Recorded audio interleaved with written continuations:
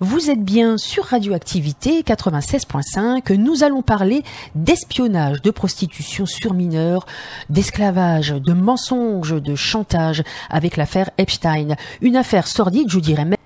Vous êtes bien sur Radioactivité 96.5. Nous allons parler d'espionnage, de prostitution sur mineurs, d'esclavage, de mensonges, de chantage avec l'affaire Epstein. Une affaire sordide, je dirais même diabolique. Avec moi au téléphone Pierre Jovanovic. Bonjour Pierre. Bonjour, merci. Merci d'être là. Pour beaucoup d'entre vous, de, de- des auditeurs, eh bien, ils vous connaissent, Pierre, euh, avec les précédentes interviews sur euh, Radioactivité. On rappelle, vous êtes écrivain, journaliste, directeur littéraire des éditions Le Jardin des Livres. Voilà, donc contente de vous retrouver euh, avec nous. Nous allons évoquer ensemble, eh bien, ce roman et aussi mieux comprendre la gravité de cette monstrueuse affaire. D'ailleurs, pourquoi, Pierre, vous êtes-vous intéressé à ce millionnaire financier new-yorkais Bien pour une euh, raison très simple, c'est qu'en étant euh, journaliste financier et bancaire, j'ai toujours été étonné par la fortune de Monsieur Epstein, alors que c'était un banquier raté, on va dire. Oui. Il a jamais vraiment fait carrière euh, dans la banque, ou du moins en très peu de temps. Et euh, il avait une fortune euh, absolument colossale à sa disposition, et ça a toujours paru suspect. Pas qu'à moi d'ailleurs, hein, à d'autres collègues journalistes américains. Oui. Et lors de son arrestation, euh, j'étais extrêmement intrigué, d'autant qu'il rentrait de Paris, hein, donc il a été arrêté à sa descente d'avion. C'est à partir de ce moment-là que j'ai commencé à suivre le- de très très près l'affaire Epstein. Et, et au vu des développements, nous avons acheté les droits d'un livre publié par un grand journaliste américain qui a écrit euh, de- donc le livre que vous avez euh, entre les mains. Oui. Et effectivement, on tombe des nues, littéralement. Complètement. On tombe des nues, d'autant, si vous voulez, que la presse française a fait, euh, ça a été la- le, le silence total, l'omerta sur cette affaire Epstein, qui est une affaire d'espionnage et pas du tout, euh, enfin, euh, moins, euh, on va dire, enfin, c'est une affaire de, prostitution de pédophilie, mais, c'est surtout une, affaire d'espionnage absolument colossale au service d'Israël et des Américains. Oui, donc il a été accusé de viol, de trafic sexuel sur des jeunes filles. Il avait donc une double face ou plusieurs rôles, hein, puisque vous venez de le dire, il faisait partie de la CIA et du Mossad. C'est ça, en fait, c'est surtout une opération Mossad avec l'aval de la CIA. Et euh, pour la première fois, si vous voulez, le- les centrales d'espionnage ont enfreint une règle, parce que vous savez, les Matahari, les espionnes euh, qui, Oui. qui séduisent euh, des hommes d'affaires, euh, etc., pour euh, de- obtenir des secrets, c'est vieux comme le monde, vous le retrouvez même dans la Bible. Bien sûr. Mais là, si vous voulez, c'est une prostitution d'enfants. Hein, on a on a le cas, par exemple, dans le livre, vous voyez des documents qui montrent que l'associé français de Monsieur Epstein, Monsieur Brunel, se félicitait d'avoir euh, trouvé des gamines de, de 8-12 ans euh, Ah oui, euh, à fournir aux clients de Monsieur Monsieur Epstein, qui étaient des têtes couronnées, dont le prince Andrew de la couronne d'Angleterre. Donc Mais oui, il y a de quoi tomber des nues, quoi. Mais oui. C'est- à ce point-là, c'est- on se dit mais c'est pas possible, quoi. Mais oui, c'est vraiment immonde. inimaginable. Oui. Inimaginable. Inimaginable. Alors sa stratégie, donc Pierre, c'était euh, de faire ch- du chantage aux ultra riches. Hein, et il avait euh, des amis euh, dans tous les domaines, des hommes extrêmement puissants. Oui, c'est-à-dire qu'en fait, euh, le, euh, Epstein faisait partie, si vous voulez, d'un groupe euh, qui s'appelle le Méga Group, et qui est une, euh, une réunion des principaux milliardaires. Je, quand je dis milliardaire, c'est pas millionnaire. Hein, Oui. Millionnaire, c'est la classe en dessous. voilà, les, les milliardaires, euh, principalement juifs, d'origine juive donc, Oui. et qui mettaient, si vous voulez, dans un pot commun de l'argent pour la, la défense d'Israël. Et dans cette opération, donc, on retrouve par exemple Monsieur Leslie Wexner, donc euh, patron de Virginia Secret. Vous savez, les, toute la chaîne des magasins de froufrou, lingerie, euh, Oui. féminin, etc. Et c'est avec cet argent, si vous voulez, que Monsieur Epstein pouvait euh, jouer les grands seigneurs, hein, c'est-à-dire euh, offrir, euh, faire des dons à gauche, à droite, etc. Et ensuite ferrer ces- toutes ces victimes qu'il vendait. Enfin, c'est pas qu'il vendait, c'est qu'il le proposait gratuitement Mais oui. à ses cibles. Et dans tous ces domaines, dans tous ces, ces appartements, ces propriétés, ces ranchs, etc., eh bien, toutes les chambres avaient des caméras et tous ces gens étaient filmés de A à Z. Oui. Alors, euh, bien entendu, à leur insu. Et c'est à partir de là, si vous voulez, que le chantage, le chantage commençait. Et le chantage continue toujours. C'est ça qui est dingue. Mais c'est fou. C'est ça. Mais il avait aussi, Pierre, à ses côtés, un personnage clé hein, dans son rôle. Il a été important, ce personnage, pour lui, à la construction de ce vaste réseau. C'était la fille de Maxwell. Oui, c'est Ghislaine Maxwell qui a défrayé la chronique euh, et de la presse mondiale euh, il y a encore euh, quelques jours. Ghislaine Maxwell était la rabatteuse, on va dire, parce qu'elle aussi allait chercher les jeunes filles et les gamines. Et, et, comme elle était à voile à vapeur, donc elle en profitait également. voilà. Mais c'est surtout, si vous voulez, c'était la fille, elle-même étant la fille d'un grand espion du Mossad euh, qui a eu euh, un, euh, je veux dire un enterrement national puisque c'était Robert Maxwell et Robert Maxwell c'est pas n'importe qui c'était un conseiller de François Mitterrand c'est lui qui a installé entre autres du moins qui a protégé Anne Sinclair vous voyez ah Donc, voilà, on, et surtout qui avait essayé de racheter TF1 à l'époque. Je sais eh pas ben. si vous, ouais, voilà, le monde est très petit hein, dans cet environnement de milliardaires corrompus.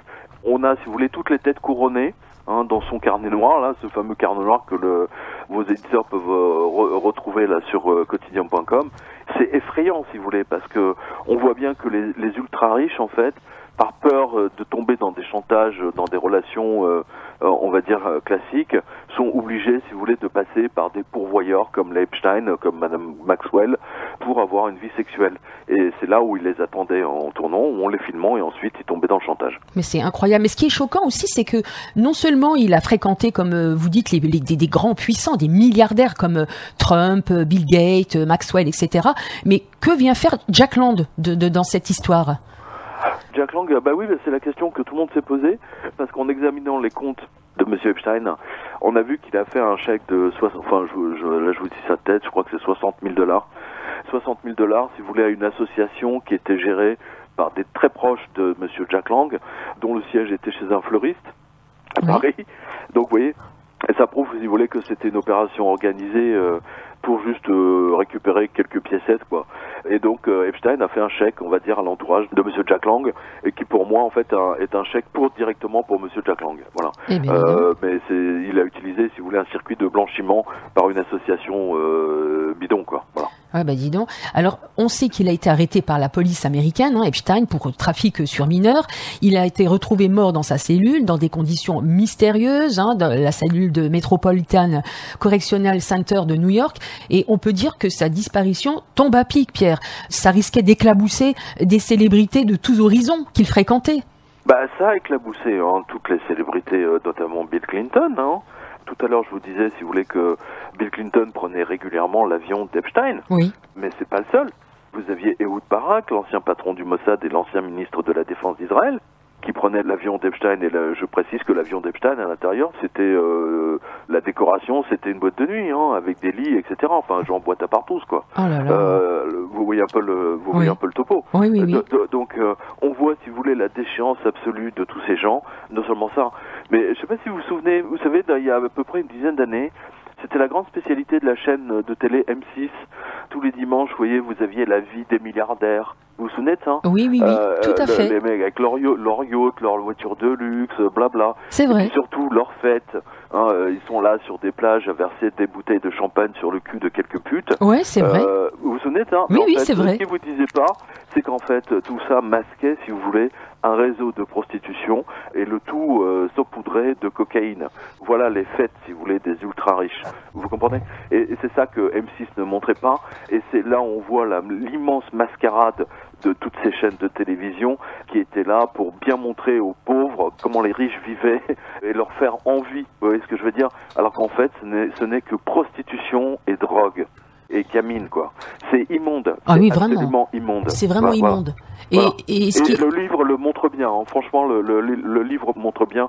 Et je, je peux vous dire que c'est euh, de tous ceux qui l'ont lu. Enfin, je veux dire, les gens sont absolument écœurés. Et tous ceux qui figurent dans le, carnet d'Epstein, dont, dont, Bill Gates. Hein. Bill Gates, vous savez que Bill Gates est partie prenante, si vous voulez, dans cette euh, opération de vaccination globale et de Covid. Hein. Nous, on a un livre hein, qui va sortir là d'ici deux semaines, s'appelle euh, Covid-19 enquête sur un virus, et qui vous montre bien l'implication de Bill Gates dans cette opération qui est destinée à mettre les populations en esclavage. Et il était, il a pris l'avion six fois avec Epstein, même après sa sortie de prison en 2008. Une horreur. Vous vous rendez compte? Bah oui. C'est vraiment euh, incroyable. surtout que Bill Gates, moi je le dis très souvent, Bill Gates a quatre jets à lui tout seul. Oui. Donc que faisait-il? Je veux dire, vous avez un mec qui sort de prison, c'est le coup, c'est Epstein, il sort de la prison de Floride, et, il, il sent le soufre, prostitution de mineurs, etc. Je veux dire, euh, un mec comme Bill Gates ne devrait même pas l'approcher, quoi, de, de ne serait-ce que de Bah, c'est clair.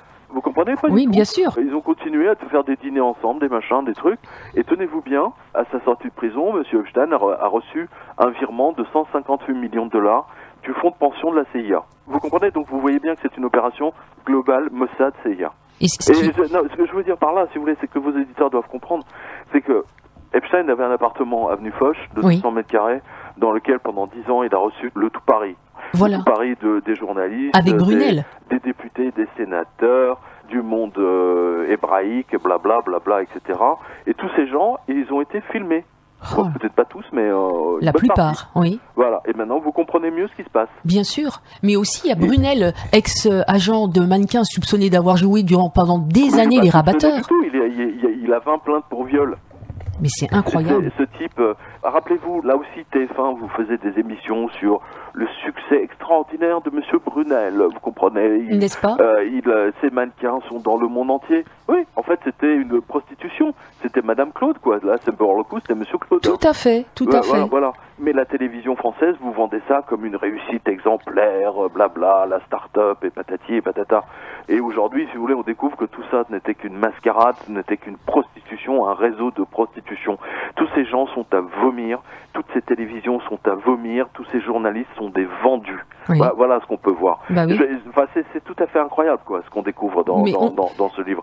C'est l'envers du décor, et croyez-moi que cet envers du décor, bah, il est pas beau. hein. Il est pas beau, ben oui, puisqu'on on entend encore avec l'affaire euh, du Hamel, et puis je- je- on se rappelle aussi depuis la révélation du scandale avec euh, Weinstein, euh, la parole se libère hein, de plus en plus à Hollywood et partout ailleurs, même ici, aussi bien dans le sport que dans le cinéma, que dans le mannequinat. Comme vous dites, c'est vraiment euh, une gravité euh, plus que incroyable, quoi, monstrueuse. Bah, ce qu'on voit par exemple avec Brunel, c'est qu'en fait, euh, il mettait euh, pour coucher avec les mannequins qui ne voulaient pas, en fait, il mettait dans leur verre des, vous savez, cette espèce de la, la drogue des violeurs, je sais plus Oui, comment oui, oui, c'est ça. Enfin, ou, ou alors il les droguait, c'est-à-dire qu'il leur donnait de la cocaïne gratuitement, et ensuite, une fois qu'elles étaient accros, bah, c'était payant et ça se payait soit dans le lit, soit euh, en finance, quoi. Bien sûr. Alors c'est important de briser maintenant le silence et d'informer tout le monde, hein, sans filtre, hein, comme vous le faites, afin de faire évoluer les choses et de traquer les prédateurs sexuels et à combattre vraiment ce fléau de la pédophilie qu'on retrouve vraiment dans tous les milieux, même les plus euh, oui, c'est surtout, ça va au- au-delà de la pédophilie. Ce que je veux dire par là, si vous voulez, c'est que les réseaux euh, israéliens n'ont pas hésité une seule seconde euh, l'année dernière, rappelez-vous, en 2020, février 2020, pour allumer un contre-feu sur l'affaire Epstein, parce que BFM avait fait une petite série, mais en, en oubliant de dire que c'était un maître chanteur et surtout que c'était un espion du Mossad, Oui. hein, évidemment, puisque BFM appartient à des intérêts israéliens. Ah bah hein, oui. euh, voilà. Et Libération, aujourd'hui, euh, le rédacteur en chef de Libération, c'est un ancien agent du Mossad. Ah bah bravo. Vous voyez un peu le truc C'est vous, choquant. Vous voyez où, où les Français obtiennent leur information par des agents israéliens. C'est extraordinaire. Ah oui. Ah oui, c'est fou, ça. C'est- absolument incroyable. hein. Et vous, vous n'êtes pas surpris, donc, euh, du, du coup, que tout BFM, etc., vous vendent des vaccins, les machins, les trucs, 24 heures sur 24 depuis un an. Ça fait vraiment peur, hein. ça glace le dos quand on entend des Ah bah, informations compl- comme ça. complè- Complètement, hein. c'est un livre révélateur. Et franchement, moi j'encourage tout le monde à le lire parce que c'est vraiment l'envers du décor. quoi. C'est l'envers du décor de tout ce que les chaînes de télé pourries nous ont vendu dans les, les réussites, entre guillemets, de millionnaires, de start-up, etc. Notamment de Monsieur Brunel, qui en fait menait un réseau de prostitution et de chantage Bah oui, ce qui euh, est- et, et d'esclaves sexuels. Quoi. Bah oui, et ce qui est terrible, Pierre, c'est la question qu'on peut se poser, que je me pose en tout cas, c'est comment une société telle que la nôtre euh, a-t-elle pu s'accommoder si longtemps de tant de souffrances et ignorer avec tant de légèreté le mal de centaines de milliers d'hommes et de jeunes femmes meurtris hein, euh, dans son indifférence. Est-ce que là, ce n'est pas un défaut d'attention, de soins et de secours que trop les institutions éducatives, médicales, judiciaires, trop longtemps, la police, eh bien, se sont rendus coupables? Voilà. Euh, non, oui, en fait, oui, oui, vous avez raison. C'est, mais regardez l'affaire Brunel dans l'affaire Epstein, hein. l'affaire Brunel qui est la partie française. Monsieur Brunel vivait tranquillement en France, alors qu'aux États-Unis, on le réclamait, le FBI le réclamait pour être entendu dans les affaires de trafic sexuel d'Epstein, etc. Et la justice française a fait le, le, le dos rond. Euh, il a fallu que nous, on publie le livre pour qu'il soit enfin arrêté. Mais oui. Mais Euh, pourquoi, pourquoi ce silence? Pourquoi ce silence? Moi, je pense qu'il y a une complicité, tout, tout simplement, ça on couvre. Mais c'est horrible. On couvre et regardez ce qui s'est passé.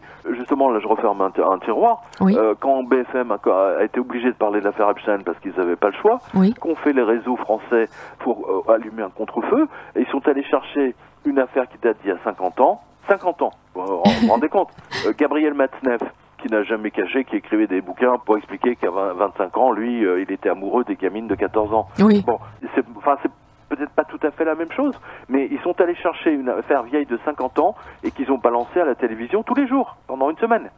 Bah oui, Et c'était. il y a une descente de police chez Flammarion. Vous vous rendez compte? Même pas pour aller chercher le contrat qui liait Flammarion à, à mais pour aller chercher les manuscrits originaux. Non mais vous vous rendez compte de ça? On n'arrive pas à... Vous voyez bien qu'il y a une collusion même au sein de la justice française. Oui, c'est ça, la justice française. Ça fait peur. Hein. c'est- Oui, ça fait peur. Oui, on vit vraiment dans un monde complètement tordu, euh, immonde. C'est une abomination, quoi. En tout cas, c'est vrai que c'est important de remonter à la surface hein, de toutes ces affaires-là et de bien expliquer aux auditeurs bien ce qui se passe, parce que nous, euh, c'est vrai qu'on regarde la télé, on écoute ci, on regarde ça, on s'amuse de ci, on s'amuse de ça, mais on voit pas ce qu'il y a derrière et on ne comprend pas vraiment euh, toutes les ficelles parce qu'on nous embrouille quand même quelque part. On essaye de nous embrouiller. Bon, euh, c'est fait exprès, c'est sûr, mais bon, grâce à vous, eh bien, vous arrivez à nous faire comprendre et à, à briser ce silence et à nous montrer la gravité des faits. C'est ça qui est bien.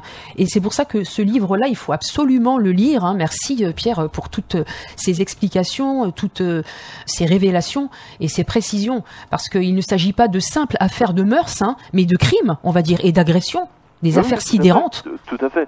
C'est de la manipulation, si vous voulez. C'est vraiment euh, ce que c'est exactement ce que vous avez dit tout à l'heure au début euh, de notre entretien. Euh, C'est diabolique, effectivement. Je crois que vous avez tout résumé. Si vous voulez, Oui. c'est- une affaire. Vous savez, même dans les livres d'espionnage, on va dire, personne n'aurait jamais osé imaginer un tel scénario. Mais c'est clair. C'est, Vous, c'est vous une- comprenez c'est, c'est ça qui est incroyable, quoi. C'est extrêmement. euh, euh, le- ça vous montre, si vous voulez, que certains États sont prêts à tout pour prendre le contrôle d'autres États. Mais oui. voilà. Oui. En, en- en étant. Rega- Regardez par exemple le Premier ministre, l'ancien Premier ministre australien. Oui. La presse australienne, quand elle a découvert, enfin, en examinant les comptes euh, bancaires d'Epstein, etc. En fait, ils ont découvert, elle a découvert que l'ancien Premier ministre, donc, euh, avait fait un chèque de 400 000 dollars à Epstein. Ah et, ouais. et donc ils ont demandé mais pourquoi vous c'est quoi les 400 000 que vous avez donné à Epstein? Ah bon? Ah bon? J'ai fait ça moi ah ben, je me souviens plus.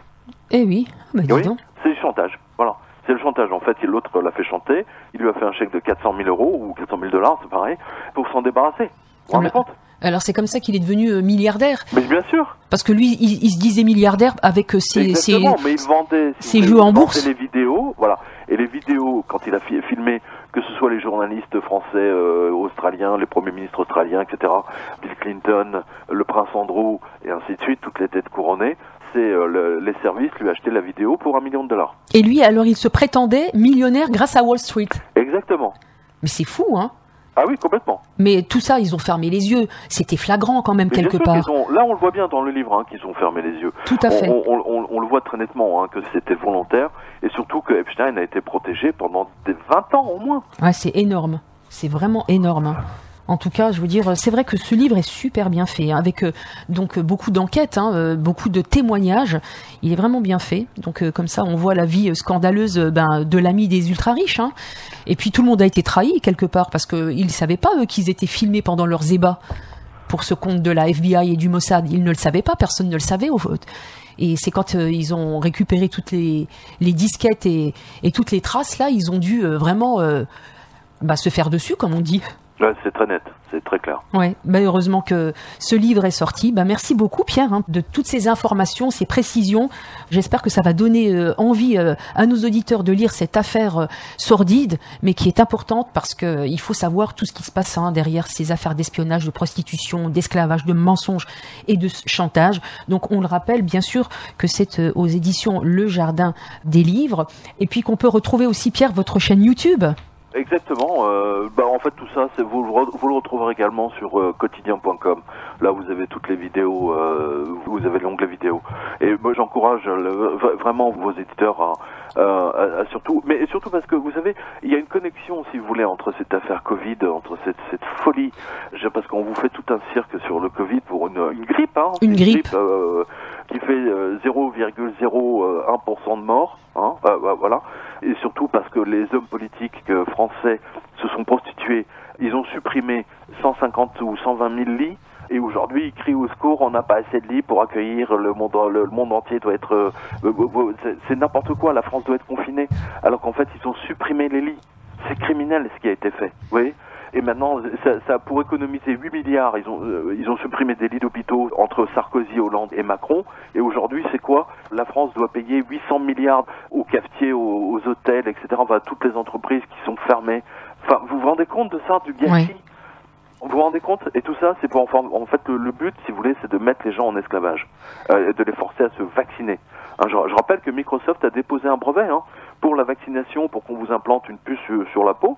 Vous l'avez là dans le livre qui sort prochainement. Oui. Euh, et, et- et comme ils sont vicieux, ils ont le, le numéro du brevet, c'est 06 06 06. C'est quand même assez. Vous voyez, ils signent leurs petits crimes comme ça. Vous voyez Oui. Alors le prochain livre, le prochain livre, Pierre, ça sera Enquête sur un virus? Ouais, ça s'appelle Covid, Covid-19, enquête sur un virus, hein, de Philippe Aymar, qui est un, un, un grand reporter français. Ah bah ça va être gratiné ça encore. Assez, assez gratiné, je peux vous dire que j'ai lu le manuscrit, là, ça va être dispo dans 15 jours à peu près. Génial. Euh, c'est spectaculaire. Eh ben génial. En tout cas, merci infiniment Pierre pour votre présence sur Radioactivité. Ce fut un plaisir. Merci Ben, de. merci à vous, Bulle, et ben, j'espère être dans vos studios une euh, prochaine fois dès que ça se calme. Là, Eh ben je l'espère euh, vivement. Voyager. Avec plaisir. Ben, merci. À très bientôt. Au revoir. Au revoir.